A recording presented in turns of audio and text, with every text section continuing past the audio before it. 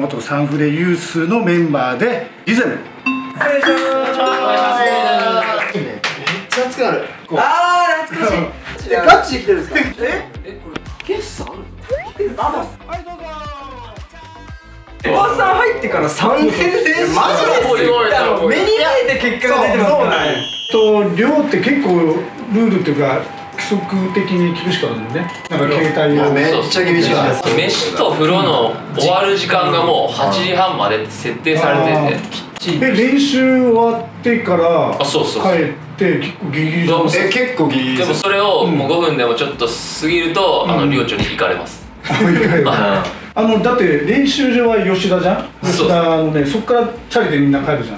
はいでこの距離って結構長いよまあ長いです。15分ぐらい。15分ぐらいね。行きは15分帰り10分ぐらい行きが上りだもんねで帰り下りで10分でじゃあ飯食ってからお風呂。それともお風呂から先あそれもなんか駆け引きあるんですそうよね今多そうだなと思ったら先に飯行って。みたいなとにかく遅れないように予測しないといけない。そうですあなるほどな。るほど風呂の人数見てみたいな。なるほど。それぐらい厳しかった。よ俺がさ大体月1で行ってたじゃん、はい。で大体あの坊主頭がいるんですね短い。大体。今はない大体変わってんだよね。それは多分あの寝坊とか。寝坊 寝坊、うん。ああ寝坊でそう坊主になかるか赤点か。あ赤点かやチームのや荷物のやらかし。荷物のか1年生え何回坊主したことある？俺は結構してましたよね個人はないんですよ。個人はない。連帯で多分坊主ではないよねもはや。俺はあのなんか坊ってため坊主みたいなのあるんですよ。坊主。なんか一回坊主にしたらあー。1一。ゴリにしたら見えへるよなそういやだから坊主にしてチームのやらかしをまず坊主にします、うん。学校のテストで赤点取ります。で、まず坊主がもう一回しないといけないんです。よだから髪が伸びたらまた反らない。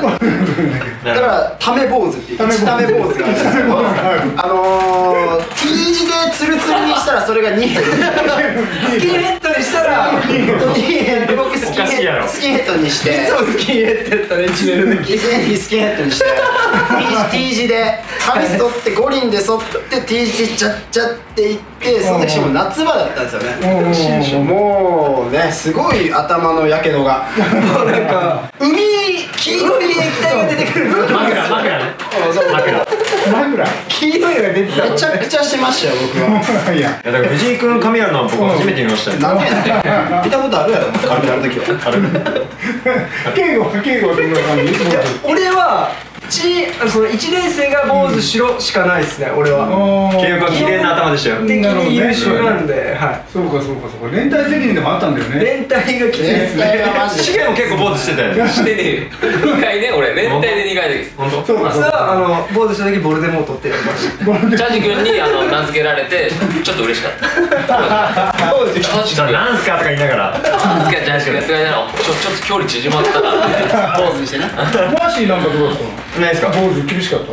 ぼまあ僕らの代もあの結構坊主しましたね、ん。あの荷物で。荷物？荷物のあのなんか上の方だったからな。練習の準備とか試合の準備とかを1年生がやるんですよ基本的うん。うにん。で絶対になんかミスが出てくるんですよ。うん。ちっちゃい。でも絶対するよね。一人絶対何回もやるやつおるもん。連帯責任なんだ。連帯するなんか高野のさ決勝とかでもさはい。すげえ坊主いたんだよね。あやお俺らの代そうそうそうそう。俺らの代ちっちゃい坊主たちが。そうコンサドーレの時か。なコンサドーレね。早尾と和也と早尾とか和也。うんうんヤマトもね。翼ヤマトあれあれなんでだっけ？あれは。連帯あれだ。弁当じゃないかな。違う違う先に帰ったからだよ練習。あーありましたね。練習1年が先に帰ってこいつがブチ切れて3年生で。藤井は結構。全員ゴリになりました。いやでもこれちょっと一個仮説あって。仮説が仮説あって？俺らだったら言えるやつがいないんですよ。うん。優しかったもん。そう全員優しぐらいしか。いや俺もなんか若干言わされた感あるからね。まあまあまあ確かに。ワッキーがあなのはあった。ああそうかそうか。でなんか決勝前だからちょっと一回締めようみたいな。うん。一回チームとして締めようで1年がつらされたみたいな。うん。でもそれでね勝ったからねそれで勝ってるから。ね。いいプレーしてたから僕いい。ね。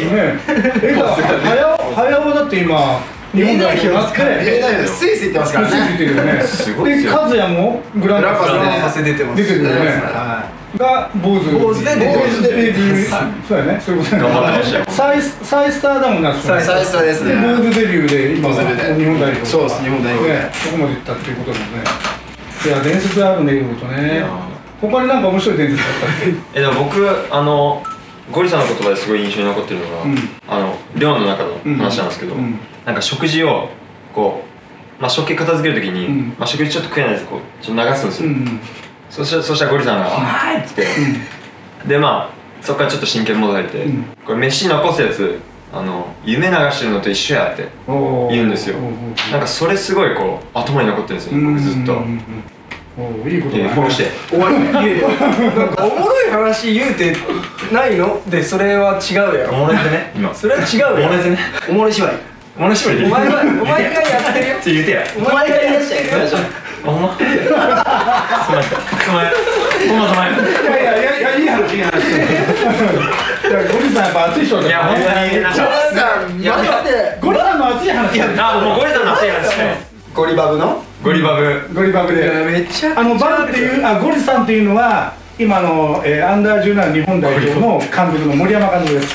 でバブっていうのは、えー、とその時のコーチです。山崎コ山崎。ーチの話を今からやります。はいゴリさん。あうん。ゴリさんはまずはあのやっぱり「滑れよ!」でしょまずは。やっぱ気迫がすごいですよ一緒にプレーしてんじゃないかぐらいそうですね。周りから来るんで。あとほんまに何回も同じミスしたら、マジでゼロ距離で詰められる。もうここまで来ます。唇触れるんちゃうかいうぐらい。あのこここの距離やで山崎さんは触れてました。矢崎さんはね触れ触れたがってた触れたがってない触れたがってない。そこごめんやる でも、まあ、バブさんもゴリさんもそれぐらい熱いんで、ね。熱いね。もうめちゃくちゃ鍛今考えるとその一高校生にそういう熱い思いをかける大人ってうん。僕はあんまりこういないと思うんですよ。うん。そういう意味で本当になんか貴重な僕らがこう体験をしたなっていう。いやゴリさんとか言ってても、まあ、娘の顔よりマラの顔の方が見てるわってそう。よねずっとそうですよね。その暑さで、まあ、メンタル鍛えて俺の体幹がまあちょこっと入って、はでまあ3連覇できたっていうのはちょっと俺のジで技術で言ったらそんなトップレベルじゃないですからね絶対に。だってゴリさんから技術学んだ記憶ある？そういういや技術じゃない。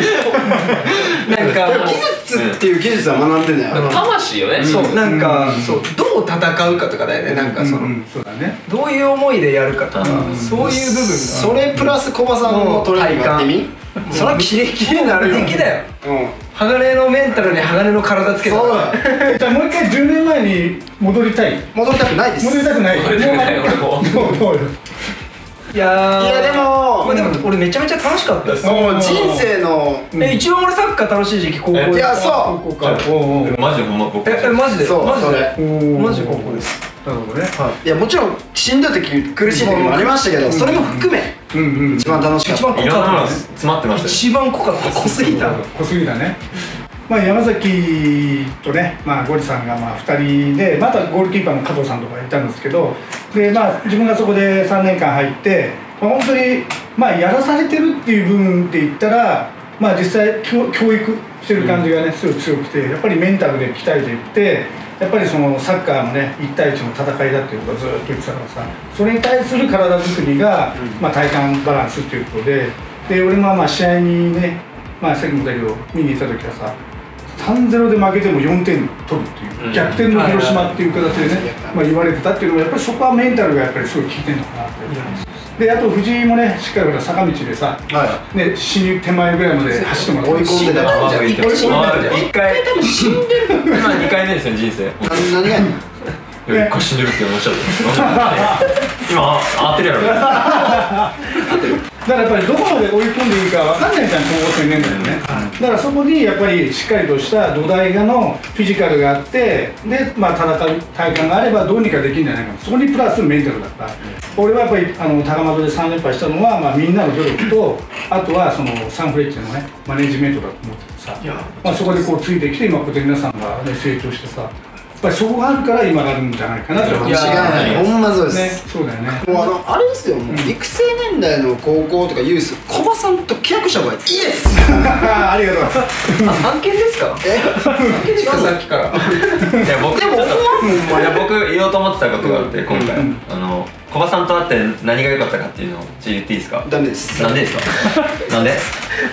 小回だけね。うんああと今回だけね赤そうだ。ねあなんか高校時代僕高校生となんか最近こういったり、うんなんかそういうサッカー少年と会ったりもするんですけど、うんなんかそういう子たちってこうなんか自分が成長する何かをこう探してるんですけど、うんやり方とか、うんで僕たちの時代ってまあそんなにこうまだ出回ってないというか、うんどういうトレーニングをしたらいいかも分かんないし、まあ、ただこうサッカー上手くなるみたいな状態だったんですけどなんか小葉さんがこう一個そういうこうアイテムをこうなんか提示してくれた、うんうんうん。こうおかげでなんか毎日こう積み重ねるうん。何かをうん。こう僕たちは持ってたんで、うん。だからそれを毎日こうやっていけばいいんじゃないかっていううん。なんかこう希望みたいなの持ってたんですよ。だからそれすごいこうああいう高校時代でうんなんか体験できたのはすごい大きかったなと思います。何やればいいっていうのが明確だったんで、はい、それを自分たちはやるだけだったんで、でもほんまに迷ってる子たちって多いと思う。いや逆に今はもう,、もう YouTube とかもいろんなものがあって、うん。もうたくさんいろんなトレーニングとかもあるし、逆に難しいかなっていうのもあまあ間違ったトレーニングとかも絶対あるからねあんな。そうだねサンフレッチェのね、まあ、元あのユース世代の、まあ、3人、まあ、プラス1リゼムとプラス1ごめん。ながまあこうやってね、えー、と昔の今話をしてくれたんですけどぱり育成年代でどうやって怪我をしない体を作るかっていうところで、まあ、自分のね結構テーマにしてるところがあるので、まあ、今回あの YouTube でのそのトレーニング風景だったり、まあ、このメンタルとかそのトレーニングのね話を聞いて、えー皆さんもね、えー感じるものがあったと思うんですけども、えー、としっかりねこうなんかやっぱり継続することがすごく大事で、あのゴリさんの言葉でさ気持ちには引力があるっていうね、はい。言葉がねやっぱすごく俺も響いてるしやっぱり気持ちがないとそこのね目標に向かえないので、えーそれをまあ自分は土台の体作りとしてやっている。あとはメンタルとそのフィジカルを持って、えー今こうやってね、えー成功しているっていうところも含めたら育成年代にね、えーしっかりとした、えーまあ、指導者トレーナーあとはそのメンタルをね強くしていければ絶対目標にたどり着くと思うので、えー皆さんね頑張っていきましょうね。えー、と今日は本当にリズムのね3人組と、で特別ゲストの大谷マッシーどうもお疲れ様でした、ありがとうございました。